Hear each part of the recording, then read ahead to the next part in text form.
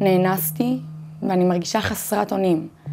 השמידו לי את הראיות ואין לי מה לעשות עם זה. אין לי איך למצות את הדין עם הבן אדם שהרס לי את החיים. אז דמייני לך, שאחרי שעברת את הגיהנום של החקירה שלאחר האונס, את מגלה שמה שיכול היה לשמש כראיה קריטית במשפט, פשוט נעלם. זה מה שיכול לקרות עם ערכת האונס, שהיא תיק הראיות הביולוגיות שנאסף מהנאנסת בבית החולים מיד לאחר האונס. משרד הבריאות קבע נוהל ב-2003. אה, בנוהל הזה כתוב שערכות אונס שנדגמו בבתי חולים, ראיות ביולוגיות בתיקי עבירות מין, אה, אם זה זרע, שיער, רוק או כל דגימה ביולוגית אחרת, אה, מושמדים אחרי שלושה חודשים. ואכן, הנוהל קובע כי כל עוד הנפגעת קיבלה החלטה שלא להתלונן במשטרה, הדגימות הביולוגיות יישמרו לשלושה חודשים בלבד. לאחר תקופה זו, הערכה תושמד. מצב אבסורדי זה, המתקיים שנים רבות, הוביל לקיום דיון בכנסת בחודש מאי עם נציגות מהגופים הנוגעים בדבר. מוצגים לא מושמדים במשטרה. המשטרה, ההנחיה בטח בעבירות חמורות, גם אחרי שהתיק נסגר, שלא להשמיד את המוצג. כבר קרה שבתי החולים איבדו ערכות. כל זמן שאנחנו מדברים על השמדת הערכות זה נשמע מאוד אה, חלק ומכבסת מילים, כי מה שעושים באמת זה משמידים ראיות שעלולות להפליל בן אדם שהוא תקף מינית. תקופת ההתיישנות על תביעות אונס היא בין 7 ל-15 שנים, תלוי במקרה. כלומר, המחוקק הבין שלעיתים רק אחרי הליך של טיפול וסיוע שנמשך שנים, מקבלת הנאנסת את ההחלטה והאומץ להתלונן. אז מדוע קבע משרד הבריאות נוהל שלא מתיישב עם תקופת ההתיישנות? כדי להבין זאת, צריך לחזור אחורה בזמן לתחילת שנות האלפיים, כשבוולפסון הוקם בהתנדבות חדר הטיפול הראשון לנפגעות תקיפה מינית. אנחנו הקמנו את זה מתוך יוזמה מקומית, בהתנדבות של אה, אנשי צוות.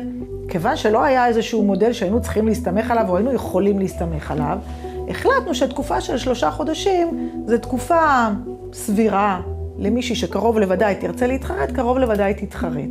בשנת 2003 קבע משרד הבריאות נוהל דומה לדרכי העבודה שנקבעו בוולפסון, כולל הקביעה כי פרק הזמן בו תישמר הערכה יהיה שלושה חודשים בלבד. מאז, הנוהל לא עודכן, והקביעה נותרה עד היום, למרות הסתירה הברורה בינה לבין תקופת ההתיישנות המוגדרת בחוק. אישה שעברה התקפה מינית או אונס או כל דבר אחר מגיעה, לוקחים ממנה את כל הערכה. היא לא מגישה תלונה, היא עדיין לא מספיק חזקה, היא חלשה, היא כואבת.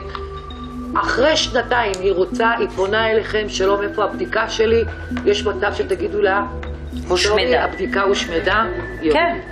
מצאתי את עצמי בבית חולים, עוברת את כל הבדיקות, אני עדיין נסערת, עוד לא הודיתי בפני עצמי שנאנסתי, ובאותו רגע אמורים לי להחליט אם, אם להתלונן או לא, כדי לדעת אם לקחת את ה-DNA שלו. ולא ידעתי מה לענות, אז עניתי שלא. במהלך הדיון הגיעו נציגות המשטרה, משרד המשפטים ומשרד הבריאות להסכמה שיש לשמור על ערכות האונס לפחות בהתאם לתקופת ההתיישנות. אז מי אחראי לשמירתן והיכן הערכות יישמרו? לא בדיוק ברור איך שומרים, איך נכון לשמור את הראיות האלה. זה ראיות שהן מתכלות, אני מניחה. אם הדגימה מטופלת כהלכה, אפשר לשמור אותה לשנים רבות או כערכה או כ-DNA שהופק בתנאי הקפאה. אם גם אה, קובעים את הפרופיל הגנטי של ה-DNA, בעצם אפשר לשמור את זה לתקופה בלתי מוגבלת כקובץ מחשב. מסתבר שהיעדר נוהל מוסכם יוצר גם אפליה. אם נאנסת והגעת לוולפסון בחולון, ייתכן ויזרקו את הערכה שלך אחרי שלושה חודשים בלבד. אבל אם הגעת לסורוקה, ישמרו אותה אפילו שש שנים. גם האופן שיקחו את הדגימות, אם בכלל, הוא תלוי בית חולים. לא מכולם אה, לוקחים ערכות.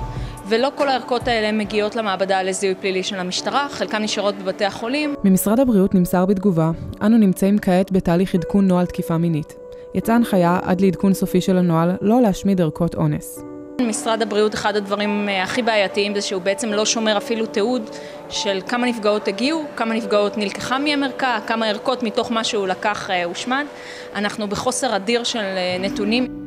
ערכת האונס מהווה ערך קריטי לא רק לנאנסת, אלא גם למשטרה בהצלבת מקרי אונס, התאמות DNA ופענוח פשעים. תמוה איך עד כה לא הוסדר נוהל בנושא, ואכיפתו אינה מיושמת בקפידה על ידי הרשויות.